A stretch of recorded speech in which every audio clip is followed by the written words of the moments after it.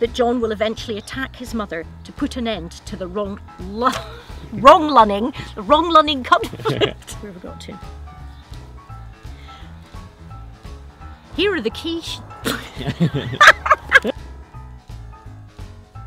Duty and individual fulfillment. Ten years that he's been tending his bed. The imagery of the snakes used to mm. describe. Whoa!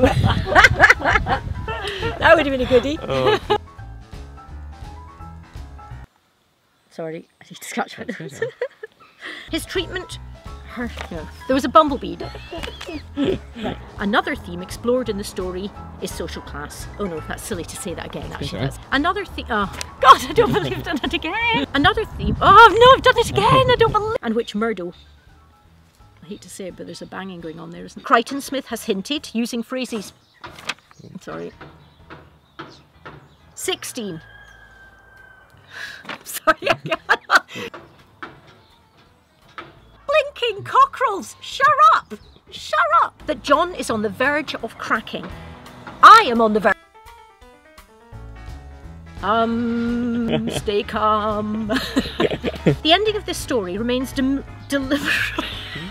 and it's a wrap!